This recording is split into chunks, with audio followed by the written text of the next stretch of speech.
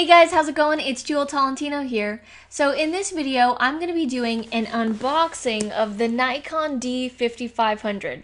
Now this is Essetino Artists, our first DSLR camera. We've actually not owned anything like this because we're usually filming on the Logitech webcams. This is the C930E. We're filming on GoPro and we're doing screencasts for online tutorials. So we've never had a camera like this before. And we decided that in 2016 that we're going to upgrade and give our channel a facelift and do more professional type videos. So that's why we decided to get a DSLR. So I went into the store, I told the guy I was a YouTuber, and he basically suggested this camera because of the touch screen that you can flip around so that you can see yourself. He's like, "Do you think this feature would be good for you? Do you think that you would find this helpful?" And I was like, "Oh yeah, because I'm I'm filming videos by myself. Arit's going to be filming videos by herself, and it's easier to frame the shot that way when you're when you're in the in front of the camera and you can see what's going on." So I'll show you that feature in a second, but this is the box right now and let's do some unboxing. I don't usually do unboxing videos, but I felt it was necessary for this one because it was our very first DSLR, and that's exciting for our channel. So, just gonna open it up, and first thing you see are the standard manuals, right? Typical to be honest, I don't really even read this kind of stuff anymore. I just YouTube everything. I am a YouTuber, right? So I just I just YouTube everything if I don't know how to do something on a camera or software. So here we go. We've got two slots and we basically got the camera on one side and then all the accessories on the other side. So let's start off with the body of the camera. Now I was playing around with this in the store and I liked the way that this felt in my hands compared to the Nikon. I have really small hands, so the Nikon was smaller compared to the Canon that he was showing me. So, and it was lighter too. So here's what it looks like gonna pull it out. And it's nice and small, can fit in my hands. And one of the cool things that I liked about this camera was that we can have this flip out, right? And then go like that. So when I'm recording myself, if I want to be holding it, you know, like this or whatever, I can see myself on this screen because it's flipped over to me. And this is also touchscreen. This screen is also touchscreen, which I thought was really cool. And he said that this is an entry level camera, but it's above the first kind of entry level. So this isn't like the the bottom level of entry level. He said this is an entry level camera, but it's like a little bit more advanced than the, the entry entry level. Okay, so that was the body of the camera, and that was one, honestly one of the main features that I really liked was this screen and how small it is. Because I don't want a big clunky one, to be honest. I, I don't want that right now. I just want like a nice small DSLR that can fit in my hand. So next is the Nikon strap. We'll we will be attaching that obviously onto the camera because I don't want to drop this while I'm using it. So I will definitely be using that. strap. Cords for the TV. Standard. Stand, this is, yeah, so we can attach it onto the TV. Cords again to connect to the computer. Standard. We got the charger and the battery.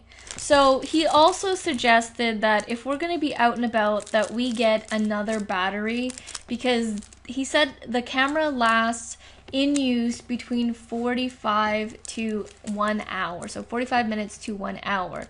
And he said it's best to have another battery on hand just in case this one dies. And I do agree because I have multiple batteries for my GoPro because when it does die and you know you want to film something, you definitely want to have extra one on hand. So I will be getting another battery.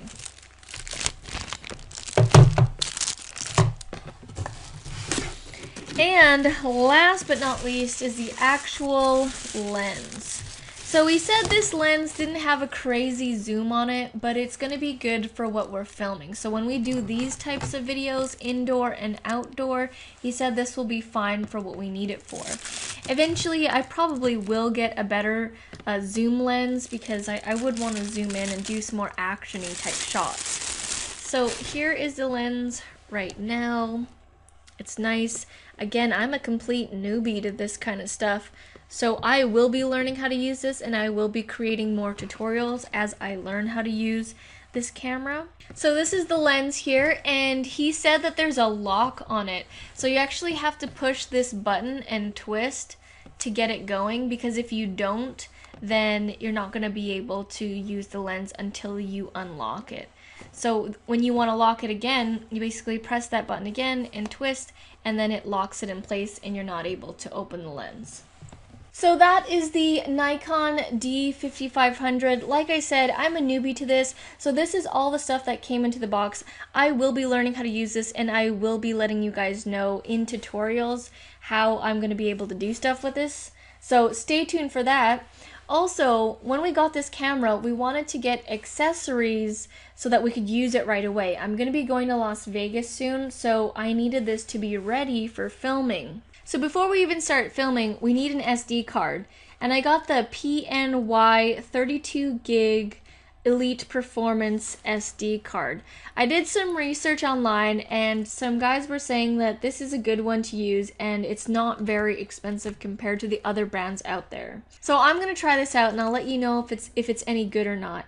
I made the mistake of using a crappy SD card in my GoPro and I lost a bunch of footage when I was in Hawaii. So I'm never going to make that mistake again. People say that this is high quality, so I'm going to try this out.